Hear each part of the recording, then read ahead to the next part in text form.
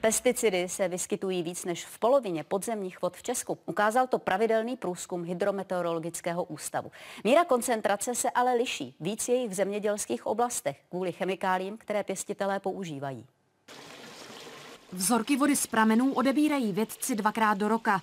Láhve co nejrychleji posílají do laboratoře. Teďka už, jak jsme ten vzoreček odebrali, tak zase pracují různé přírodní procesy a rozkládají ty látky, které v tom vzorku jsou.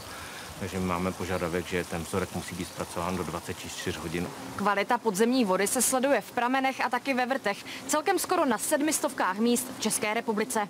Nejnovější data z roku 2017 se podobají předchozím letům. V nějaké míře se pesticidy objevují ve více než polovině sledovaných míst. Zhruba ve 40% podzemních vod jsou to nadlimitní koncentrace těchto chemikálií. Jsou to pesticidy, které se, pova- které se používají převážně na cukrovou řepu, které se použijí pro kukuřici a pro řepku. Do podzemní vody se dostávají takzvané metabolity, druhotné sloučeniny, které vznikají až v půdě. Mapa ukazuje, že problém je hlavně v zemědělských oblastech. Tady vidíte Polabí, Pomoraví, Podí například. A tam už nacházíme desítky pesticidů v podzemních vodách v jednom vzorku nebo v jednom objektu. Nás jako hygieniky zajímá podzemní voda ve chvíli, kdy se vyčerpá do vodovodu a rozvádí se jako voda pitná, takže tam máme nějaké znalosti a tam bych řekl, je nepříjemný, že ty látky se v pitné vodě vyskytují, ale zatím nemáme žádný doklad o tom, že by škodily. Stejně jako podzemní vody sledují se i ty na povrchu. Většinou jsou to koncentrace, které jsou eh, relativně nízké z pohledu nějakých akutních toxicit, to znamená, že ten, že ten eh, jejich efekt nemůžeme pozorovat hned, ale hlavně dneska není v podstatě vůbec proskoumaný eh, ten takzvaný koktejlový efekt. Koktejlový efekt toho, když se do vody dostávají pesticidní látky, můžou se tam dostávat léčiva. Proto vědci zdůrazňují tzv. princip předběžné opatrnosti. Získaná data mají poukázat na problém, jehož dopady se teprve můžou projevit v budoucnu. Kateřina Poláková, Česká televize.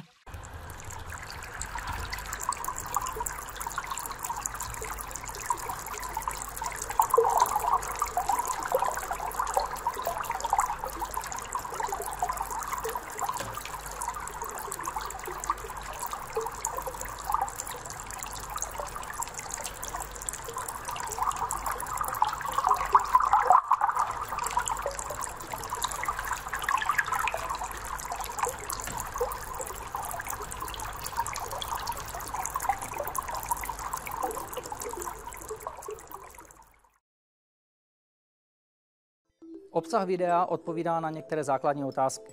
Budu velmi rád, když mi sdělíte váš názor na jeho obsah tady dolů pod video a současně, když mi napíšete odpověď na základní otázku.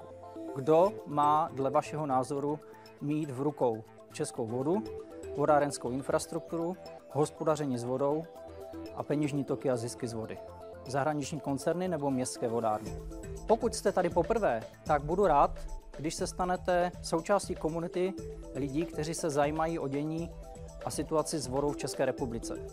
Proto jsem pro vás tady připravil možnost stát se odběratelem videí, které jednou za 14 dnů tady dostanete.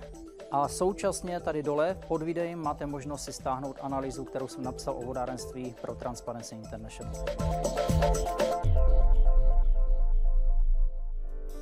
Pověz mi pravdu o vodě, proč ní čas plyne jako voda.